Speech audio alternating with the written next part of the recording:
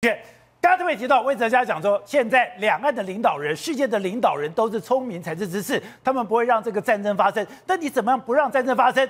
我要 determine，我也等于说我要有威吓的作用。干嘛？我要军队过来。军队刚刚讲到，现在台美的国防产业六日要在台湾举行。哎，这次居然有三十家军火商，而且这三十家军火商，你现在看到他们生产的东西，把你吓死了。很多都已经直接跟 AI 挂上线了。你现在看到有一个无人快艇。无人快艇它也可以变成自杀快艇，这个自杀快艇它居然是跟星链完全结合在一起，而且它是有自杀攻击作用的。对，本来刚刚我们讲哦，这个台美国防产业论坛呢，过去呢从来都不公开，但今年得到消息说，原本讲二十五家，就没想到最后竟然来了三十家之多，而多出来那几家厂商非常有意思。为什么？我们刚才讲到这个自杀无人快艇，它叫做 Musky。Musky，你现在看到它其实小小一台而已，等于说还可以装在货柜里面哦。就各位你现在看到了，没什么大不了。但你仔细看它的上头，也就是在它的甲板上放的是什么？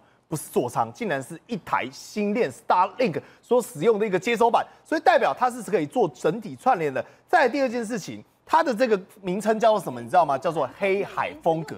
叫做黑海风格，哎，Black Sea Style，就我就是来搞神风的，我来搞特工的，有没有看到黑海的都是用这种小艇以小博大去撞这种俄罗斯的大型舰艇？对，我们的灵感就是来源于此。而你知道它厉害在哪里吗？它哦是特别设计来专门做神风特工，也就是所谓的自杀无人快艇，但它比我们讲的黑海那个地方乌俄战争发生地方。磅数呢，足足多了多少吗？你知道它那边哦，原本乌俄战争是放大概两百五十公斤一艘船的，结果你知道它至少放了多少吗？放了四百五十公斤，所以换言之，它的火力跟威力是倍增的。你说宇轩，可是好像就两倍嘛，好像还好啊，没有。我们在现在要讲到了，第一个，它不用人操控，全程都是由 AI 电脑自动进行敌我判定。换言之，它可以透过我们讲 Starlink，透过相关的网络讯号，透过它的敌我识别系统，知道说，哦，你这个。是来自于中国的解放军，你这个是友军，然后建议判定说我要怎么去攻击它。在第二件事情，它可以做串联。我们先前是不是跟大家介绍过 Link 十六？它这个更厉害，为什么？它等于是一艘无人自杀艇，一艘无人自杀艇。宝德哥，如果有五艘，你知道可以达到什么效果吗？什么效果？蜂群。它可以用蜂群围攻嘛？它可以后方有一艘真的是调动它的，比如说 Destroyer 一个驱逐舰，然后调动这五艘无人的这种自杀快艇，然后开始展开四面八方的攻击。可是它的破坏力很强吗？当然，它一艘你知道可以换掉什么吗？比如说一艘就可以换掉一台大型的舰，大型的舰艇。比如说，我们讲驱逐舰，我们讲侦察舰，它一艘就可以换掉那种两三千吨级的，它这一艘可能了不起一两百吨而已，把这个货柜都装得下，以小博大嘛。但你想想看哦，如果它同时出动十艘，用我们刚才讲的蜂群攻击，宝这哥，它可不可以对航空母舰发动攻击？也是可以啊，可不可以对辽宁号发动攻击？也是可以啊。所以他们讲，这是最符合台湾当前所需要的这种不对称作战，而且包括它全程从头到尾，它不需要你再去设定、再去想定，它 AI 自己会帮你判断相关的路径。而且不只是这样，我们讲美工提供这种都是这种全新创新的厂商，它跟过去有一个很大的差别。以前大家讲是什么洛克希德马丁啊，讲这些旧厂商，那没有什么大不了。但新厂商它有一个特点哦，代表这是美国最新前端的科技。代表说这是以前都是拿一些旧的嘛，他现在直接把最新的科技全部拿给你。保留，你知道现在呢，美国对于台湾整个在战略位置上的重要性已经不同同日而语。因为这一次洛克希德马丁公司来的之前，哎。他又放了一段影片，把 F 三十五放进来，F 三十五放进来更出来。我们以前讲过，F 三十五是最好的踹门者，他真的是进去踹门，而且他是进去把所有的眼睛、耳朵全部打瞎掉。对，宝雷哥，我们刚才讲到无人自杀艇，它是 AI 操控的，而你现在所看到的影片，它在讲述的是一件事情是什么？未来整个美国的作战都会与 A I C 相关。它的画面你看啊，这是海马斯发射，对不对？你想说发射之前到底为什么可以先发射？其实它是透过 F 三十五先呢在空中进行了目标锁定跟侦查之后，确保比如说好方圆百里它有哪些防空设备，有可能有哪些敌军，把雷达做一个锁定之后，好锁定到敌方的防空阵地。他们想定的是什么？想定的是哦对方的阵地。对方的油库，好，那我知道你的阵地跟你油库在哪的时候，我在利用我的海马斯火箭移动到定点之后，马上发射我应急需要在对当地最有效精准打击的火力。所以你看啊，这次爆炸之后，它所模拟的火力是什么？来，有没有看到宝力哥？为什么会像天女散花一样？它是用极速弹，等于说我判定之后，哦，你这个标的适合用极速弹来做攻击、来做打击，因为我不是单一个标的嘛，我今天要打你的阵地，包括你的油库，我只需要让大范围的引爆，你自然而然会产生更严重的伤害。所以你看哦，这些响定等于说，只要透过 F 三十五，它主机上所装载的雷达跟阵列系统。它就可以侦测到作为一个最前端的踹门者跟侦察兵，让他所有地面随时在移动的，从海马斯火箭，包括我们讲的陆军战术导弹系统，那防御措施呢？对，防御措施没有用啊，没有用，那就完全没有用嘛。第一个，你防御措施，请问一下，它侦不侦测得到 F 三十五？侦测不到吗？侦测不到嘛？那我们是不是聊过 F 三十五根本走到哪？你除非是非常高阶的，不然都是如入无人之境。再第二件事情，整个我们讲的。这个萨姆四百，你大家一直讲说萨姆四百很了不起，很了不起，但是它已屡屡已经在乌俄战这种实战当中验证什么？哎，根本防不了，因为它现在反而变成什么？乌乌克兰首要要打击的目标。所以你知道俄罗斯现在头壳很大，哎，头壳大在哪里？因为美国现在所有的武器，美制武器已经在乌克兰这边开绿灯哦，等于说你想想看有什么？陆军战术导弹系统，我们讲的暴风之翼，甚至我们讲到什么 AGM 八八，所以他们是一整排在方圆三百公公里外的这个地方呢，通通都列为一级警戒区。但你知道最可怕是什么吗？最可怕的是不只是这些飞弹哎，现在乌克兰最最先进的是什么？是这个 Turkover Turkover 的这种无人机。这个无人机它的射程，自杀无人机也是 AI 的，甚至高达什么一千公里之远。所以现在对于俄罗斯来讲，现在不管在哪一块的土地，甚至是在自己的国土内，都惶惶不可终日，因为不知道什么时候炸弹会从自己天上掉下来。走，你说这次拜登接受《时代》杂志的专访，对台湾来讲至关重要，因为现在美国已经不演了，美国已经越来越战略清晰了，而且这个战略清晰很简单，要中国不可以轻举妄动，而且更可怕的是，他直接讲。习近平现在留的是一个烂摊子，对，没有人愿意跟那个烂摊子交换位置。没错，这一期呢，拜登呢接受《时代》杂志的专访，《时代》杂志的专访的时候，他讲到台湾的时候，他是，我觉得他立场就是中国，你绝对不能够动台湾，你动台湾的时候，我就会出兵。就台湾是我保护的。对，为什么他这样接受媒体访问？媒体就说：“哎，二零二七年中国要打，那如果真的打怎么办？我们会出兵去协防。”那会出兵的时候，那请问你要怎么出兵？他说：“哎，如果是派武力啊，或我派陆军、派海军、派空军，这是有不太一样的这个状况。”那记者再问他说：“那请那我们会从日本或菲律宾去打他吗？”他说：“我不能跟你讲，要不然你会批评我。”哎，他把很多他在无形无形之中讲出了非常多细节，表示美国是真的玩真的。好，那我们讲拜登呢为什么在这个时候接受这个专访？如果我们来看。这几天的美国三大厂都来台湾投资，就告诉你了嘛？什么事？因为美国的资产就在这个地方，美国的未来就在这个地方，你千万不能够打。所以台湾已经变成美国最核心利益了。对，所以他才会讲这样的话嘛，就是核心，我一定会来协防，我我一定会来派兵给台湾的一个状况。好，那除了台湾的问题之外，还有一个非常重要，就是拜登这一次的哇，大谈特谈中国啊，他把中国唱衰。他说什么？说每个人都在谈论中国有多强大，他们有多强大。事实上是中国经济正处于崩溃的边缘。对，然后中国经济蓬勃发展的想法，你得了吧？别吹牛了。对，然后他还说什么？他说他不相信有人想要接习近平的烂摊子，因为习近平留下是个非常千疮百孔的这个状况。那哎，他的讲法是真的，我觉得他真的有研究过。哦他说为什么中国经济不好？两个问题，第一个是他们目前为止啊人口老化严重，再就他排外非常的影影响非常大。对，哎，所以他是真的有研究哦。他认为中国经济就是崩溃的这个边缘，同时间还既老化又排外。对，然后他还批评一带一路，他说一带一路是令人讨厌的失败倡议，就这样否定你的这状况。然后你要想，哎，那你凭哪凭什么底气？他还说我是这个世界上跟习近平相处最久的。有九十个小时，我很理解他在想什么。所以 We are the world power。对，所以他讲了非常多，等于是两个重点：一个对台湾的态度，一个是对中国的态度。这两个是截然不同的一个状况。所以说，这个你来看，这两天为什么台北电脑展这个有这么样子？知道？应该讲，全世界讲，Intel 来了，AMD 来了，包括了 NVIDIA 也来了。对，你要掌握未来。进到未来 AI 世界的钥匙的这几个人，对，现在全部来台湾。也就是你如果要去构筑一个 AI 的世界，那就只有台湾可以帮美国做得到。没错。所以刚刚讲的，哎，这些公司都是美国公司，他们生产的东西都是美国的资产。对。昨天吴董讲了，钱在哪里，心就在那里。现在美国的资产就在台湾了。对，没错，我们就讲为什么美国这个时候会越来越清晰，主要原因就是因为台湾现在是未来他们 AI 他们要发展的这个最重要的产业 AI。这个黄仁勋讲到，宝姐，AI 未来的总商机，他认为有一百兆美金，一百兆，这个天大地大的产业，所以美国一定要把这个牢牢的掌握住。那请问现在谁在 AI 里面最有 power 的生？台湾嘛。所以你看，为什么黄仁勋要来投资台湾？苏之峰要投资台湾？Intel 目前为止也把他的单下到台湾，所以现在等于是三大公司的这个重心，它全部都压在台湾了嘛。所以就造成事实上，这个就让台湾跟中国出现一个截然不同。你看我们台湾都是哇，AI 订单一个一个来，那老美就说我们要保护你。但是反观中国呢？你看为什么拜登会唱衰这个中国经济？你看周大福都会停工，然后中国的这个外资的投资崩跌了八十二趴，然后很多烂尾楼，所以可见中国真的是处处都是病。这如同这个拜登所说的这个样子。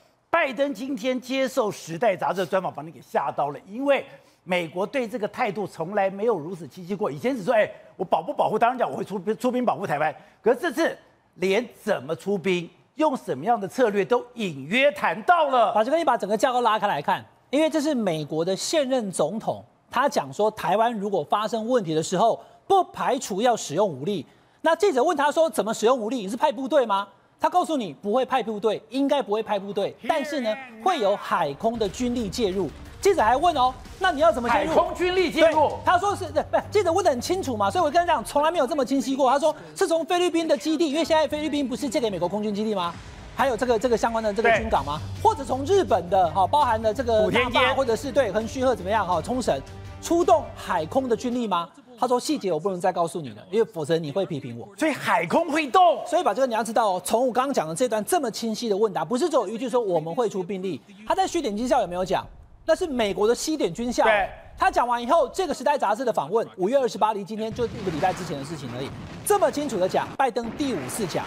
那把这个，你就知道往前推，上上个礼拜在做什么？WHA，美国的包含了国务卿布林肯，他的亚太助理国务卿，哦，包含康达，还有副助卿兰莫克都公开讲，你等一下，中国大陆误用了二七五八五决议文。你所讲的 One China Principle，那个我们只是 acknowledge，我们没有 recognize。美国永远就是 One China Policy，就是它跟中华人民共和国是一个是一个邦交国，可是它并不认为台湾它就是属于中国的一部分。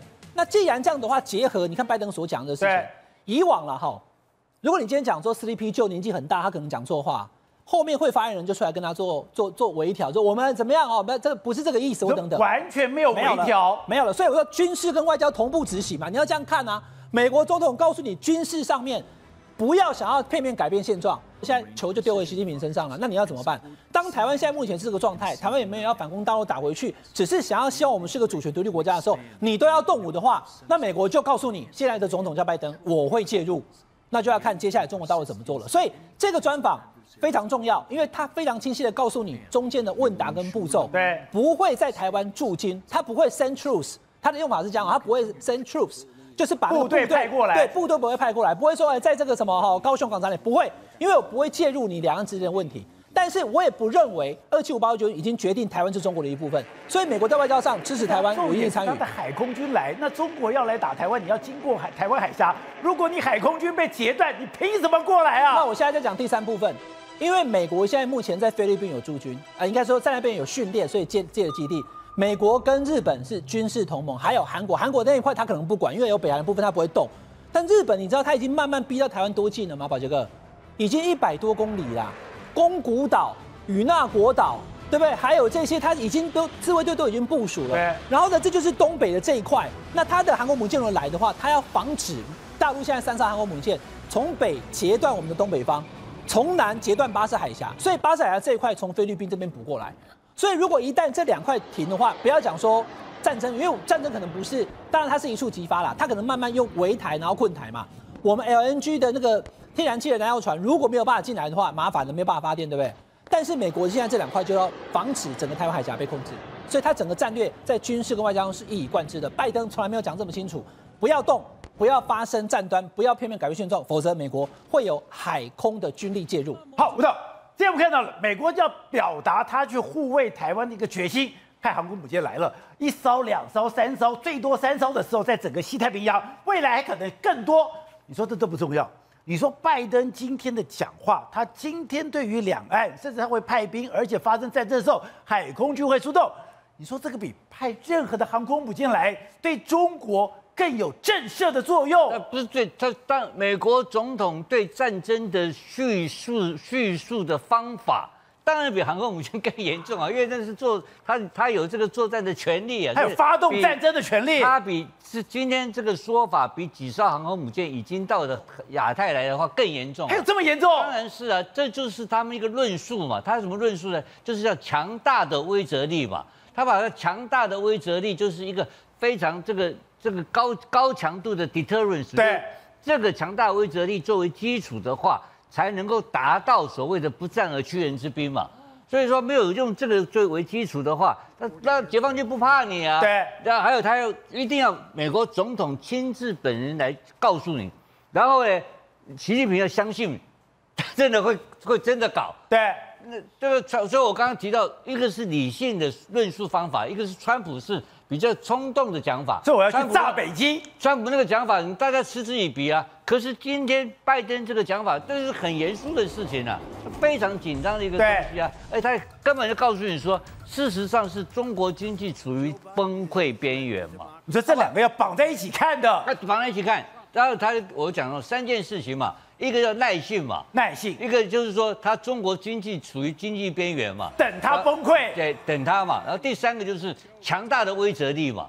那他今天表示什么？就把三个通通讲完了嘛。他整个论述是完整的，你知道吗？一套东西告诉你，你要有耐心。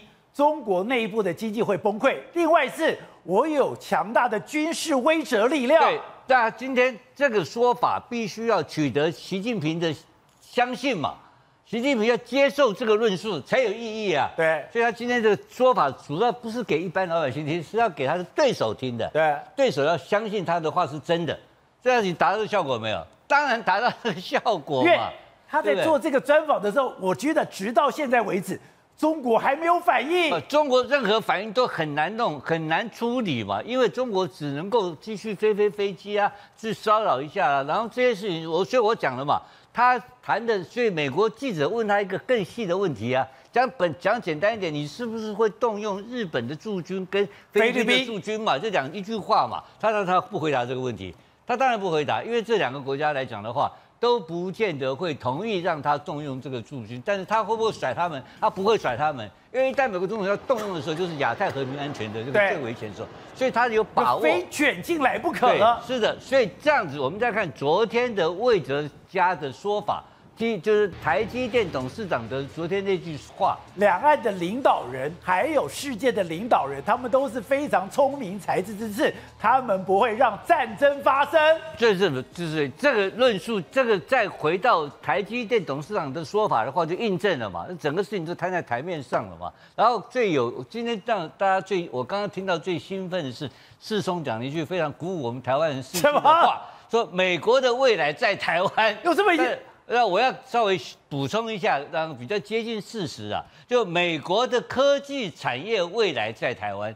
如果这样的话，可能就比较完整一点。对如果美国未来在台湾，我们太沉重了啊啊。美国的科技未来在台湾，这个到昨天到确认了，确定。你说 Intel 来了，AMD 来了，NVIDIA 来了，高通来了，所以在这种情况之下，那代表着庞大的美国跟全世界主要西方国家的利益在台湾嘛。而在台湾情况之下，他不是要帮台湾保护台湾，他是要保护他自己美国人的利益啊。对所以这个时候不用再考虑战争问题，他不可能让这个事情发生，因为这事情一发生的话，他们本身就已经受到极大的伤害。对，不是，而且我们所了解的讯息是，他不但是说我现在在这边驻军，他现在已经把大量的火炮弹药都已经放在这个地方来那当然了。都是，那当然都是，那个都不是问题。所以你就比较一下他的态度跟他的利，还有根本原因还是回到他的利益的问题嘛。那这个利益的问题涉及到未来的十年、二十年的科技产业的发展，那这个东西怎么可能让让不能让共产让北京当局有侥幸有万一的可能性？一旦有侥幸有万一的话，他就面临到更大成本的投入。对所以今天的说法是刚刚开始，所以我认为拜登今天这个专访，他是隔空讲给习近平听的。当然是最重要，他只有一个一个听众，就一个听众，就是习近平。叫习近平接受他这个说法，习近平要不接受的话，就会冒险。但是他要避免这个冒险的事情发生，所以今天的说法，包括今天开始以后的说法，我认为会越来越强化这个整个他的他的论述。懂？你想说《Time》杂志这一次对于拜登的这个专访，对台湾来讲至关重要，而且它的威力比你派三艘航空母舰来都来的重要。对，因为拜登今天这个他接受《Time》的演《Time》的专访的内容里面啊，主要谈到的当然还是谈到他跟美中的关系的。那美中关系里面最大的冲突就是台湾嘛。那作为台湾部分来讲，他非常明确的告诉《Time》的记者说，他一定如果中如果这个解放军攻打台湾，他一定会保护台湾。可是现在啊台湾对美国真的有这么重要吗？重要到现在拜登一而再再而三，已经第五次在刚刚讲今天接受《Time》的专访的时候，明白表示两岸有事的时候一定会出兵保护。对，这个有一个巨大的变化了哈。那我个人认为哈，就是以黄仁勋的去年的黄仁勋跟今年的黄仁勋来做个比较。哦去年的黄仁勋你记得吗？当时美国商务部禁止他把 A 一百的半导体不准销售给到大陆，对到中国大陆。因为那个 A 一百跟这个 A 一百可以用 H100 在飞弹上面用啊，哦，可以军事用途了。所以这个时候，结果让黄仁勋的这个 NVIDIA 减少了百分之二十的收入，你记不记得？当时黄仁勋还拍了中国的马屁，对穿了中国的红袍啊，等等等等，那商人嘛，对不对？我们我们不是在跟他算账，但是说当时的中国的百分之二十市场对 A N NVIDIA 非常非常重要。到今天的的 NVIDIA 已经是全球的第一名的呃的 AI 的这个第一名的公司了。它从 A 一百发展到今天的这个 B 两百等等，那个一个很大的那个算这个这个演算能力的一个很大的一个要一个一个一个一个一个一个提升的。对。啊，这那这个代表这个世界发生什么事情呢？就是说在这一年，从黄仁勋对中国大陆的态度，大家今天的生意应接不暇，变成世界的这个首富之一了。这个里面有一个重大的变化，就是美国的态度，因为美国政府一直用这个禁止这个所谓的半导体的限制的晶片法案嘛。对，但是晶片法案的的管制晶片法案的同时，延迟了中国的这个产业的进步，对然后提升了美国的进步，所以美国现在经济非常好啊。所以因此，你看拜登今天的反应很简单，他的想法非常简单啊，他就说，因为美国现在经济情况一直在成长嘛，对不对？那中国他认为将来要崩溃，这今天最大的突破在这里啊。那中国经济在崩溃边缘。中国的经济在崩溃边缘，那他相信中国的经济未来会崩溃，这才是可怕的一个事情啊。那这个问题是到底发生了什么事情？那当然，中国经济有中国经济过去的，从过去重要的火车头的角色，到现在变成了一个自顾不暇的角色，这是一个很大的变化。可是美国的经济呢，到达一个可以照顾全世界的角色，又是一个很大的变化。但那可是黄仁勋，我刚刚讲发生什么事情呢？发生一个科技上极大的变化。他从本来需要百分之二十中国市场，到现在他现在全世界应接不暇。他不需要了。为什么？因为 AI 的科技有了重大的突破，就是大型语言平台的发展，就 LLM 这个发展，就是 ChatGPT 让我们人让语言跟电脑之间的沟通方式完全大幅度的改变了。完全大幅度改变之后呢，这个时候台湾变成一个非常重要的位置啊，因为台湾是唯一一个国家能够做出这种高级、非常先进半导体的国家，这是第一个台积电。然后第二个，我们台湾有完整的 AI 的 AI server 的供应链，对是全世界唯一的一个国家。除了从半导体的尖端开始，到供应链整个系统，到最后到红海、到林百里这些、这、到这些公司，他们可以做出非可以造全世界超过五成以上的 AI 的 server 你。说现在韩国做不到，中国做不到，只剩下台湾能做到，。因为台他们没有那么多下游啊。那这个下游公司目前光是红海一家来讲的话，预估了在今年内的话，就可以包下全世界的百分之四十的 AI server。这个去哪里有？但没有没有这个东西啊。所以你看到这一次的这个电脑展中间的一大堆的重全世界重量级重量级的这些科技大佬跑到台湾嘛，对跑到台湾来的目的很简单，甚至于取消韩国的行程，就是因为他们在台湾已经一定一定要在台湾确定他们的需求，确定他们的订单。如果他们不在台湾确定的话，然后又跑到韩国去，三心两意的话，做不出来。他就他就会输掉他的这场战场啊。所以这个是一个非常大的变化。那这个大的变化就变成说，让台湾的主导性、台湾的重要性，在全世界发展整个世界大的潮流当中，台湾扮演的一个这以黄仁勋的讲法，是一个 AI 科技的中心位置。那 AI 科技中心位置代表的是谁的利益？美国的利益。美国的利益的核心的位置啊。那如果美台湾是美国利益的核心位置的话，那那现在拜登的态度是什么态度？拜登一定要保护你台湾，一定要顾好他自己的金鸡母啊！所以他今天才把这话讲这么白。当然白，讲这是有史以来最白的一次，白到这种程度。就他现在已经告诉你说，我美国是 world power，他美国要占据领导 leading 的我，他是世界领导的地位不会受到动摇，被确定了。你看到最后过两天一定会继续持续的用这个语言出来，因为他要跟川普要打对台嘛。那那拜登知道美国如何扮演世界的领导地位，所以他今天的话是一个前导前导的话，后面会越来越重，越来越重，越来越重。所以因此来讲的话，这里面台湾就因为这个重大的科技的变化，一翻又变成了黄仁勋口中所说的，就是 AI 的 AI 科技的核心的中心点呐，呃的中核心位置啊。那这个核心位置是变成。台湾是美国经济科技产业中的金鸡母啊，是重要的一个重要组成的成分嘛。啊，那这今天那拜登什么态度？拜登当然拼着使命要顾他自己的利益啊，所以我们可以放心的睡大觉。我可以就完全理解昨天这个魏哲家魏哲家昨天说法，他说世界的领导人都会有聪明的才智去避免发生战争。好，喂，该讲的你。跑过八年总统府，而且是八年总统府记者联谊会的会长。做总统府最重要的就是你要对国际关系非常的这个熟稔。你说你从你看到拜登借这个专访，你也吓到了。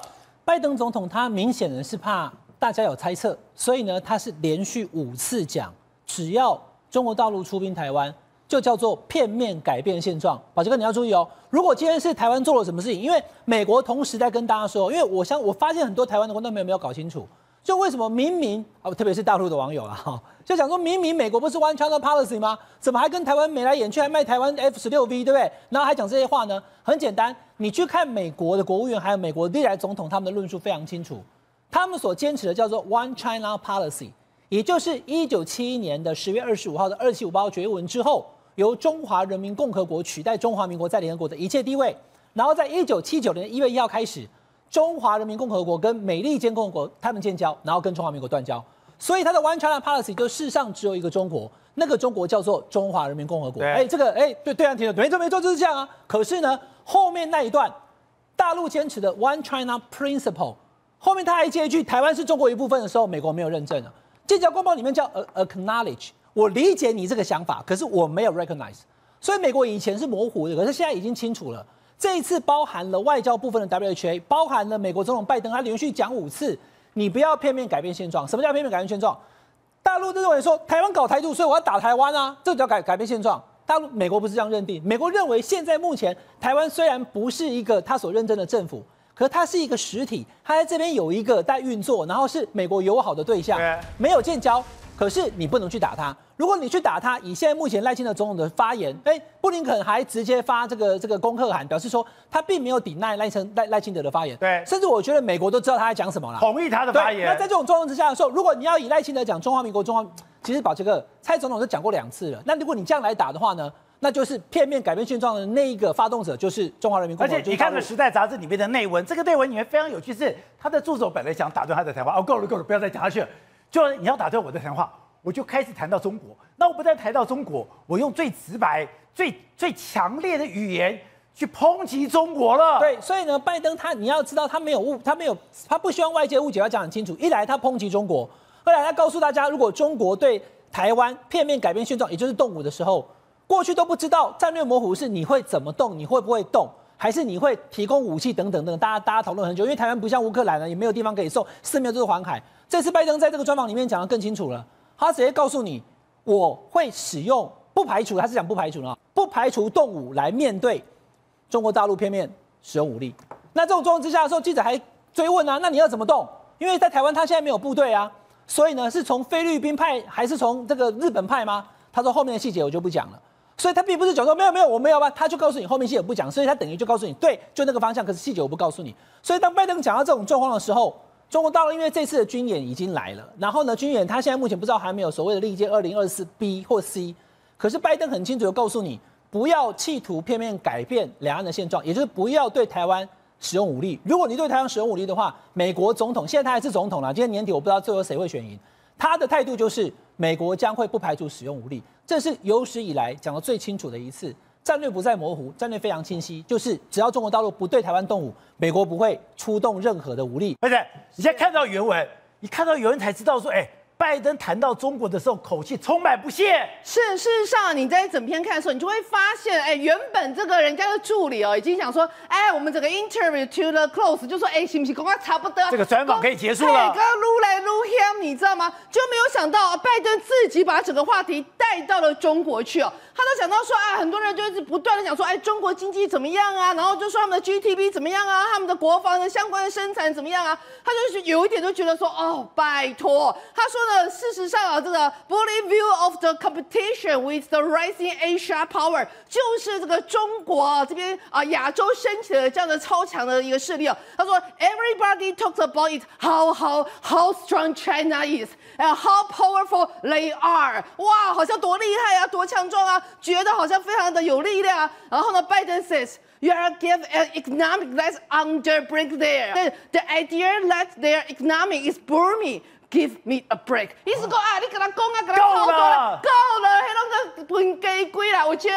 光是从这一段话里面，我都可以想象得到，他在这个讲的时候，搞不好眼睛还翻了一下白眼，就说：“哎，你这个事实上是非常非常过时的一种讲法。”然后再来，还有讲到什么？他说呢，What Biden describes as China economic weakness could make confrontation more。意思就是说，哎，感觉上好像中国自己内部经济产生一些问题的时候，是不是会有造成更大的冲突，而不是更小呢？然后呢，他就说啊，这个像是啊。在这种情况之下，我们要去啊拓展啊美国相关的一个呃所谓的盟友一个关系在亚东地区哦。然后像他这边就是特别去提到，就是说，described a China economic weakness could make competition more, not less。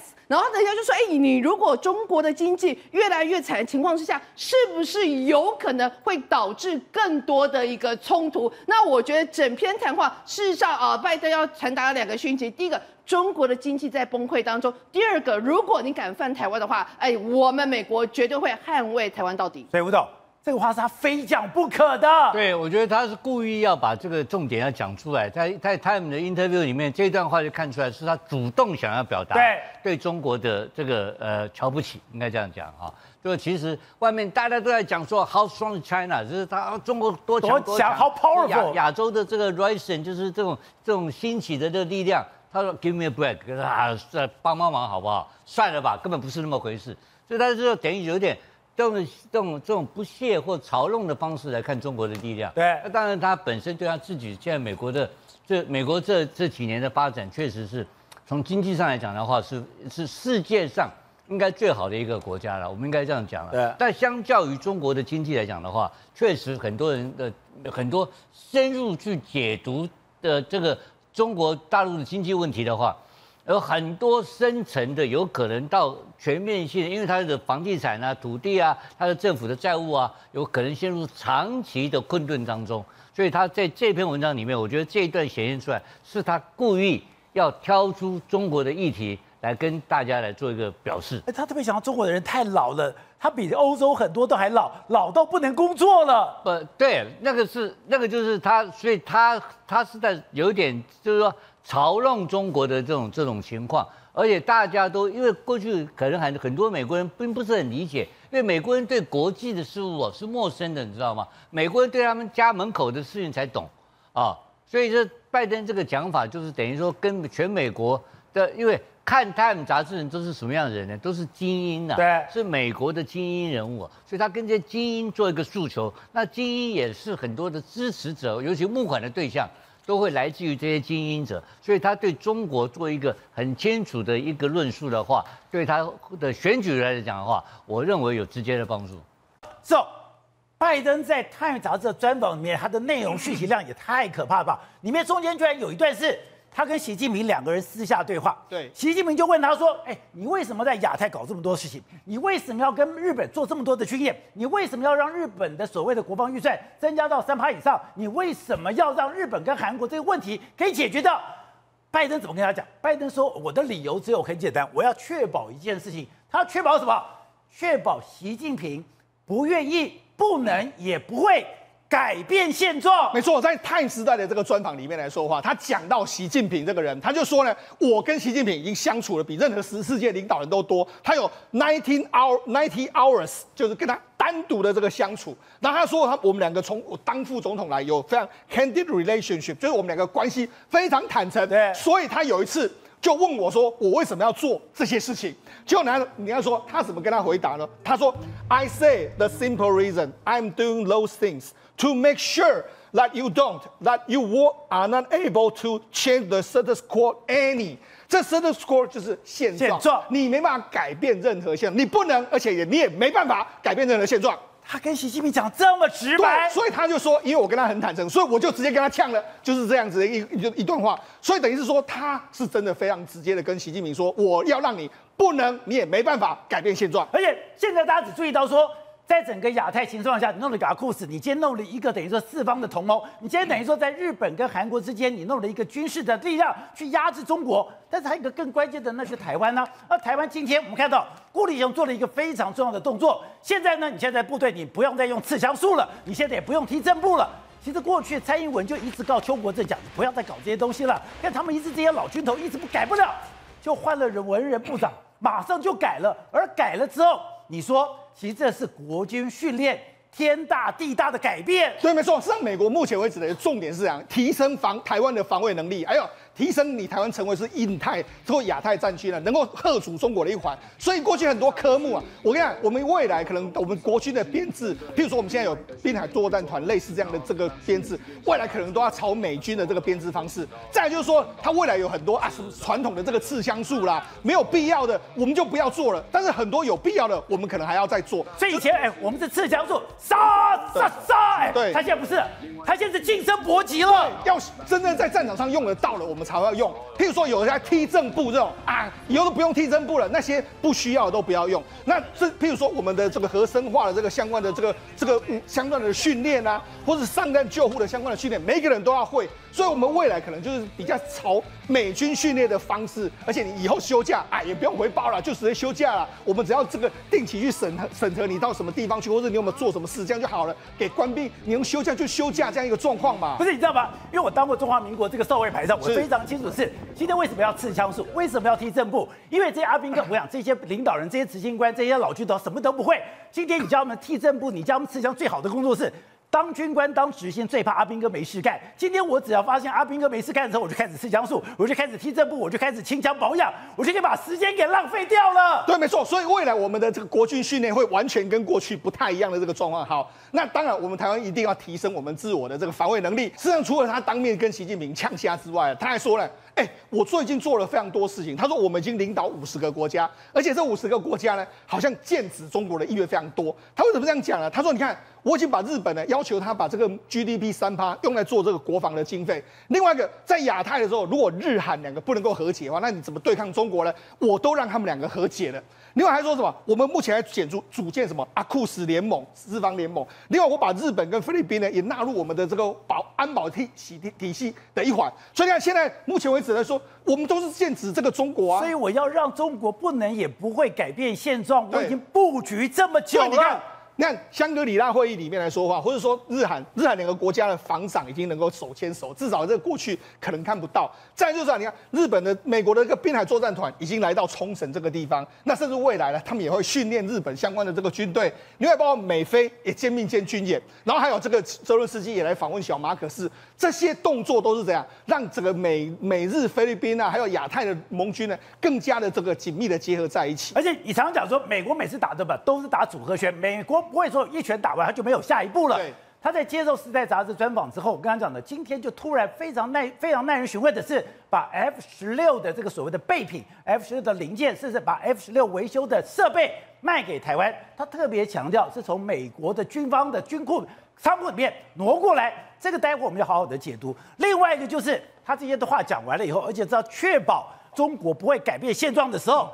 他居然把 B one B 轰炸机带来了。对，B one B 轰炸机不但带来了，他把 JDSM 的钻地弹也带来了。对，没错。实际上，在这个拜登接受媒体访问的这个没多久的这个时间里面来说，美国的 B1B 就在六月五号的时候抵达南韩，然后进行这个美韩空军联合军演的这个这个联合军演。然后，当然韩国也出动非常多。那他们这次 B1B 还投了这个所谓 JDAM 的这个飞弹，就是直接攻击型的这个飞弹，这样直接丢丢弃下来。这个当然有钻地的这个功能。你看，他们这个画画面都把它释放出来的一个状况，然后丢了大概五百磅左右的这个炸弹弹。对好，那为什么这个 B one B 是一个非常可怕，它比战斗机还快的轰炸机，对而且它是来无影去无踪它。叫做死亡天鹅，这个韩国媒体这样称它。好，那我们就讲为什么它那么厉害呢？第一个，因为过去一段时间呢，不论美国在轰炸，譬如说在今年二月三号的时候，他们从美国的空军基地起飞之后，飞到中东。就没多久之后，他们就在伊拉克还有叙利亚，不是丢了这个八十五个相关的目标吗？这就是由 B1B 来负责的。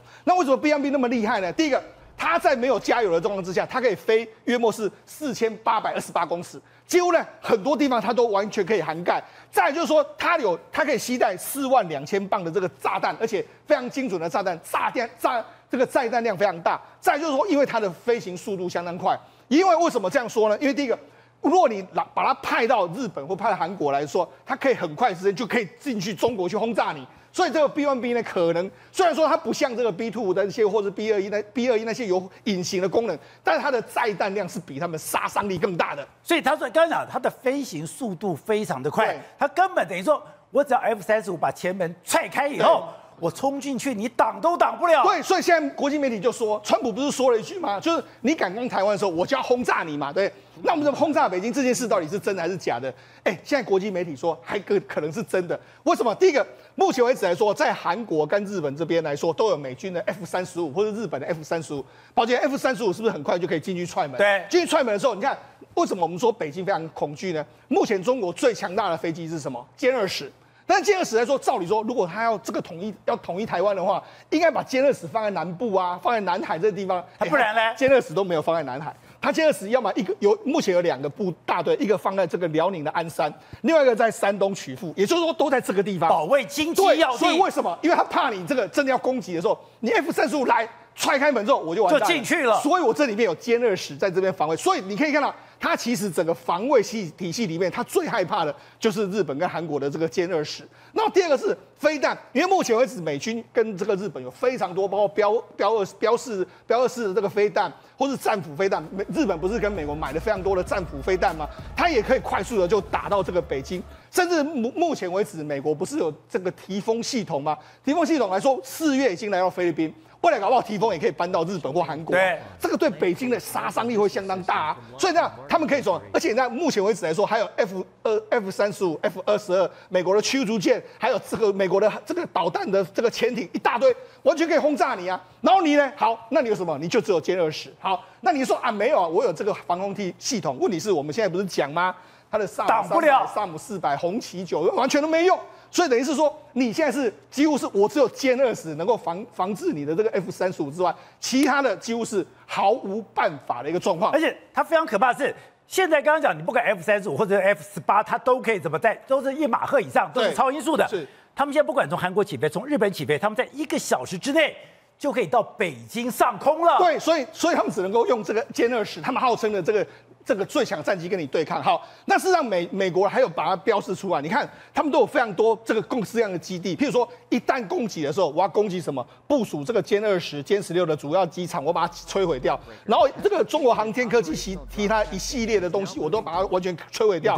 研发中心也把对你，打掉。然后包括说几大太空这个发射中心啊、监测中心也都把你打掉，然后还有重要的这个设施，包括说是你很多的海军基地、空军基地，我都要全部把把你打掉。所以其实美军都有做一个非常完整的想定，就是我跟你一假设我真的要轰炸你的时候，我要轰炸你哪些目标，我要轰炸哪些具体的设施，我都把它标定的非常清楚。而且现在传出一个军方的内幕，也就是台湾之前不是讲我们的 F 十六 V，等于说用我们的所谓的凤凰夹仓锁定什么？锁定你的歼十六，锁定你的轰六。就这个照片，他说吧，送到谁的手上？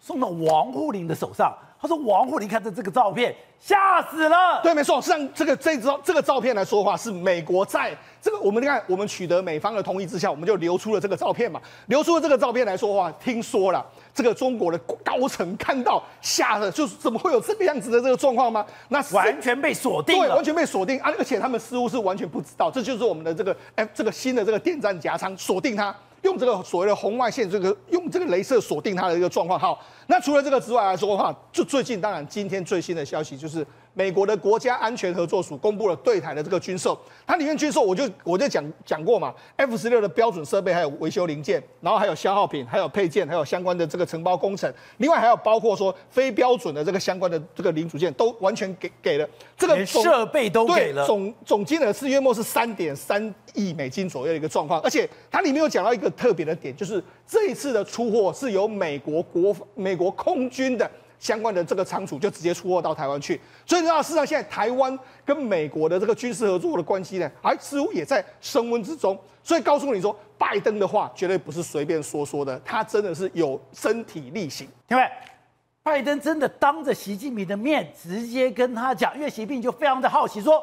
你美国在这边东西干嘛？你根本搞了一个阿库斯，你今天干嘛跟菲律宾？你今天干嘛日本？你今天韩国不在那搞军演，你不在包围我吗？拜登说，因为我跟他有九十个小时的见面，我们有非常强的信任的关系，所以我就直白的跟他讲，我只要确保一件事情，我要确保你不会，也不会，也不能改变现状。他要整个中国不要轻举妄动。对，拜登就是在习近平里面面前讲真话，直接告诉你说我为什么要这样搞。其实这样搞的主要的原因就是在结盟啊，因为国际关系当中很重要就是要对付对方来讲的话，我就是结盟来对付你。远交近攻，为什么要结盟来对付你？其实就是因为你的军国主义、你的扩张，所以可能造成所谓的亚太地区的一个情势的变迁，那形成所谓的维持现状被破坏嘛。所以我们为了巩固这个现状，所以拜登来做这件事情。其实拜登还讲一件事情，你知道，之前的话，习近平就问他说：“那你为什么要制裁我的晶片？” 其实拜登也跟他讲说：“因为我怕你做坏事啊。”所以直接跟他讲，所以代表说在拜登心里当中，中国是会做坏事的。我跟你带习高科技的东西你，为什么要制裁我的晶片？我怕你做坏事。是啊，所以他讲的非常明白吧？那其实对拜登来讲的话，他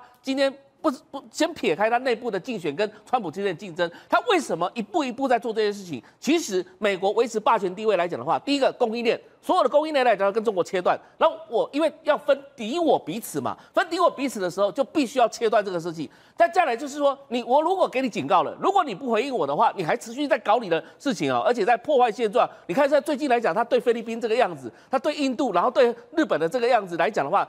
对拜登来讲，他很确定你就是在破坏现状，所以我为什么要开始结盟这一关？特别是在台湾，来，建平，我们刚刚提到了，我们现在有这个 AI 的长矛。我原本想说，这个是台湾的长矛啊，台湾就是要反手围攻啦。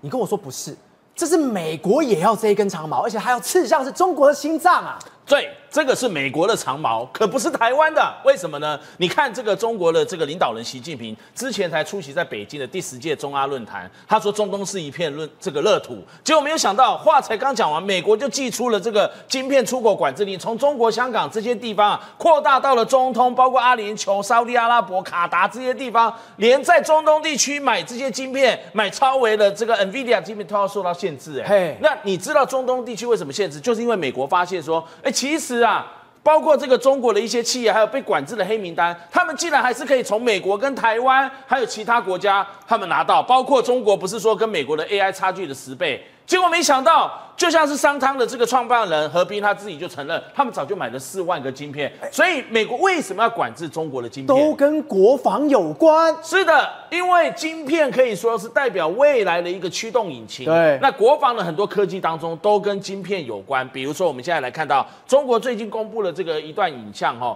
这个是中国跟柬埔寨的金融二零二四的这个演习，哈。结果没有想到引起瞩目的是这一台看起来像狗狗一样的机器人，你知道吗？这里面也是涵盖高科技的晶片哎。既然可以当这种侦察型的狗狗机器人，我们就叫它机器狗。哦，它能喷火、对，它上面还可以架这个喷火的这个哦，它的功能还可以架着机枪。所以呢，当中国跟柬埔寨举行这种金融二零二四的联合军演的时候，他刻意透过他们的官媒央视秀出了这个影片，有其中有两款的机器人，一个是这个 Go Two，一个是 B One。Go To 只是侦察型的，比较小一只。那 B One 呢，看起来比较大，上面还有这个装着一挺机枪可以连发。那未来是不是变成杀人型的机器人在战场上装有哎？那事实上，中国不止发明这个，还有一种很小到我们知道蟑螂、小强大家都怕。不是晶片跟小强一样的小强机器人，对，晶片都装在小强里面，而这个小强呢，大概长两公分，宽一公分，它每秒可以跑半公，对的就是这个半公这个尺啊，就是是这个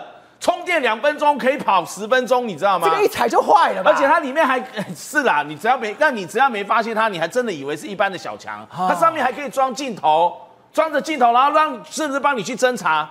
那以前我们看过好莱坞的这个电影，他们喜欢发明那种这个昆虫型的、有翅膀的这个机器人，跑到人家的屋梁或天花板上去做侦查。那中国就很厉害，你会你会这个做飞的，那我就做地上爬的。所以这也难怪为什么美国它要限制中东的这个晶片，还要整个掐住中国的脖子啊！因为晶片就可能被你用在军事国防的领域，不掐住你脖子的话，那美国的这个方面的领先优势就会被你消磨掉。事实上，美国自己也有很多这样的一个发明，比如说我刚刚讲的机器狗，美国早就有了，哦而且他们还搭配了他们这个军方的这个步兵战斗车，他们进行一个整合性的这个训练。包括在这个加州地区的很多的军事基地，美国陆军的欧文堡啊，他们都在进行这个地面机器人，还有这个机器狗跟这样的一个战斗车，它有人类士兵协同作战的训练呢。以前我们在好莱坞电影里面看到一个人类大兵，好、再加上一个机器人，一个机器狗，然后一一部战斗车，整套组合系统，以后会不会是美国未来的战场新的组合模式形态？有可能哦，因为他们现在正在进行这样的一个练习。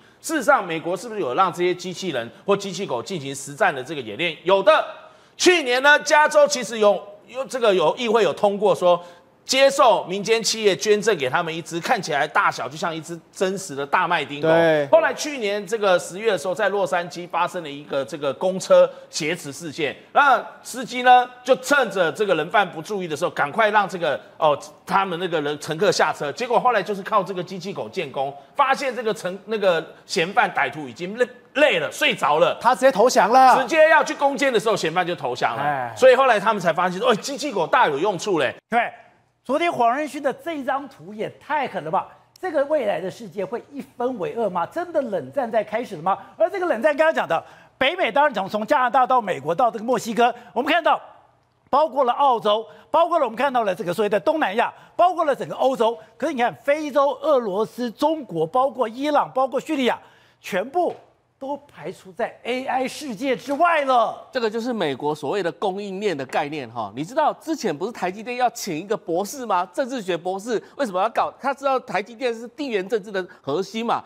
AI 黄仁黄仁勋他们也自己知道自己本身就处在这个地缘政治的核心对，所以你看到这个图，其实不要说它是什么呃这个晶片啊，或是 AI 供应链的图，它根本彻彻底底就是一个政治上的地缘政治的一张图。所以我们可以了解到啊，其实这背后来讲都有美国政府的指使啊，所以才会有这样的一个情况出现。那我们这回过头来看了、其实这几天不是在新加坡召开这个香格里拉会议吗？奥斯汀就是美国国防部长，其实讲了一件事情哦，我觉得非常重要。他说，中东也好，或是东欧也好，现在正在发生战争，对不对？但是他的历史上的战争，现在美国全心全意都是要放重心在印太、在亚太这个地方，因为这才是美国的优先战场。为什么叫优先战场？因为这个地方我要保护嘛，我要保护就确保战争不会发生。所以你看到台湾这个地方，大家说，哎，中共他是不是二零二七可能会侵侵犯台湾？今天这个董军就是中国国防部长，在香格里拉也一直在强调，什么台湾不是中国这个所谓的不可分割的一部分啊，呃，它的这个核心中的核心呢、问题是，人家美国是把所有的资产放在台湾，现在所有台湾的供应链，这算不算美国资产？算如果算美国资产的话，你打了美国资产你会怎么样？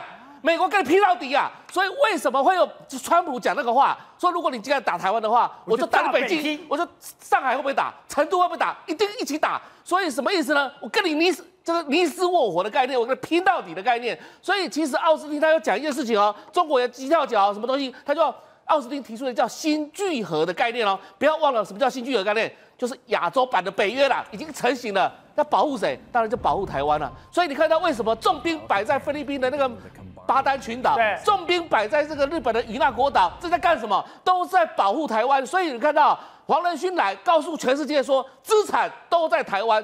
现在奥斯汀告诉全世界说，我就是要防卫台湾。所以拜登为什么讲了五次说他会出兵台湾？因为黄仁勋扎扎实实也告诉拜登政府说，你给我十年到二十年的时间，我也搞不出一个类似像台积电这种东西来。所以台台还大家还是必须要靠台积电。所以当然我们在讲天助自助啦，我们这因为有一个台积电有那么厉害的情况之下，所以全世界有求于台湾，台湾就变成一个核心区了。好，瑞德，现在传出一个消息是，美军为了台湾，居然说是备战五角大山弄了一个秘密小组，加速武器的援助。我心想，真的还假的？你说，哎，最近在我们不知道的状况下，很多的武器、很多的炮弹、很多的东西都已经送到了台湾，送到了冲绳，送到了菲律宾了。那么最近呢，有关于美军运给台湾的相关的武器，你有在媒体上面听说吗？没有啊，没有。但是有没有运来？当然有运来，有运来因为我们跟美国所购买的相关的武器，不是因为乌克兰战争所以延宕嘛？对。所以呢，延宕了以后呢，那么啊、美国他们包括国会啦，包括那个美国这个国防部呢，成立了相关的小组呢，那么要加强把这些源源不断的武器运来台湾。为什么？因为中国不断的叫喊，不是说要让台湾粉身碎骨吗？他们的国防部长嘛，所以呢，再加上一年有十亿，相当于三百亿的扣打，这些扣打是送给台湾的。这些武器是送给台湾的，弹药是送给台湾的，飞弹是送给台湾的。各位要知道一件事，我们跟美国买的五百枚的相关的刺针飞弹呢，那个单兵作战刺针飞弹呢，收到乌克兰战场，那么因为这样子呃，跟他购买的呃刺针飞弹延大。但宝杰，你知道我们购买的刺针飞弹延大，但是美军已经把一些刺针飞弹送到了台湾，而不算在我们跟他购买的五百枚的这个单兵刺针飞弹里面。为什么？因为那些算美国政府送的。送的这些库存相关的制针飞弹、标枪飞弹呢，那么先送来，直接送来台湾。援引啊、呃，这个所谓的专门的那个小组呢，援引，那么美军用军援免费军援台湾的这个法案，就把这些源源不断的运来。他运来台湾的是运来什么？运来这些包括刺针的防空飞弹、短呃短程反光飞弹，还有标枪短程的反装甲飞弹，还有这些所谓台湾最需要的幺五五榴弹炮。好，幺五五榴弹炮呢，然后当然预售，那不断来。因为因为大家不会觉得说好像很大呃那个好像很明目，大家看得很没有报道的原因，是因为它不断的不断的这样子运过来的过程当中啊，就是让你觉得好像没有特别多。那么他没有把精密的或者是先进的这些飞弹呢运到台湾来，你知道他运到哪里去吗？运到哪里去运到菲律宾去。哦，这些精密的飞弹呢，事实上。美军正在悄悄地进行一个计划。我们常讲滨海作战团呐、把海，我问你啊，滨海作战团不是区区几千个人而已对，他怎么去对抗中国？他需要的是什么？美军在南海没有基地，但是现在美军在菲律宾十一个基地，然后呢，台湾以呃，他现当然是保护台湾嘛，所以源源不断把这些库存也往台湾这个地方一直送，一直送。难道他不知道台湾最需要的不是这些所谓的登陆了以后才要用的这个相关的武器吗？但他为什么一直送？各位，如果万一有那么一天，真的有那么一天，美军需要跟中共开火的时候，请问他的弹药库放在什么地方？就在前缘，不是在台湾第一岛链的台湾，就是在菲律宾嘛。因为日本不用讲了，这一地打的整个沿下来，全部都是美军的相关的这个弹药库嘛。这只是不能说的秘密这样而已嘛。像菲律宾的部分呢，它也是不断的呃，在这个基地的部分，空军基地、海军基地，不断的把弹药库呢一直扩张，然后呢把这些飞弹一直往这个地方送。因为很简单，你看。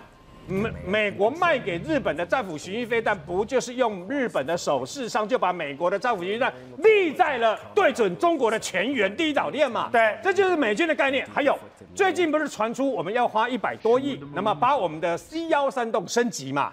啊，有没有有没有发现要？把老母鸡升级对。，C 幺三洞是全世界最好用，很多人不知道它发明已经快六七十年了，到现在连美军都还在用。那么台湾呢？我们从从头到尾的购买了二十几架，之前购买了这一批十二架的这个 C 幺三洞呢，它那个年代没有精准导引的 GPS 这些系统。所以呢，是把这些数位相关的这个仪表啦，跟这些全部都加强之外，宝杰，你知道我们跟美国买了什么武器？买什么？买了海马斯火箭弹。但你知道海马斯火箭弹用什么来运？西幺三洞啊。对啊，海马斯火箭弹就是用 C 幺三洞来运。所以呢，除了那所谓的，不然我问你嘛，我们台湾会反攻大陆，空降伞兵到这个等于说前线去吗？那可能性很低呀、虽然我们特战部队都在训练跳伞，但问题是我请教一下，我们可能反攻大陆吗？那可能性很低。可是我们要维持二十架幺 C 幺三三洞洞里面的都变成数位了。对，我们要维持。我们目前为止有十九架的这个呃四幺三洞是传统的典型的四幺三洞运输机，另外有一架就是所谓的啊、呃这个天干号嘛，天干号就是电战电战机就对了哦。那为什么要维持这么大的量？事实上，我们的单单如果是要保卫啊，或是要反那个离岛的这个等要反登陆的话，我们不需要用到那么多啊。也就是说，，C R 三洞在某种程度上面。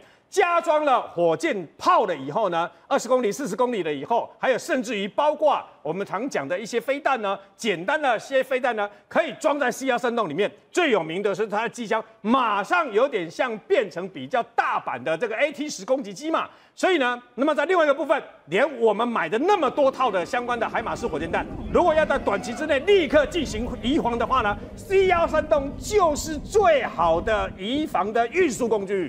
政治观点、独家内幕、国际趋势、财经焦点，重案解密，火线搜集，全方位爆内幕，话题不设限。我是张道和，